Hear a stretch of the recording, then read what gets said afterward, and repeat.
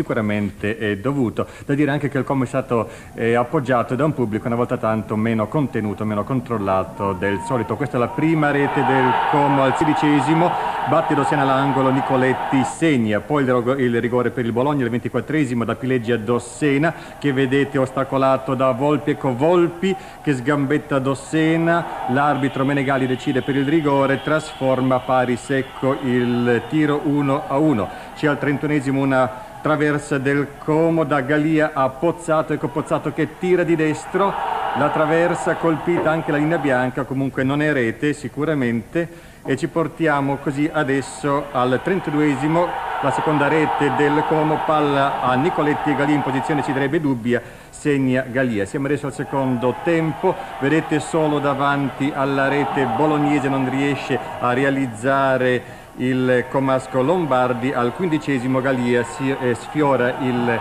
montante e a questo punto la pressione comasca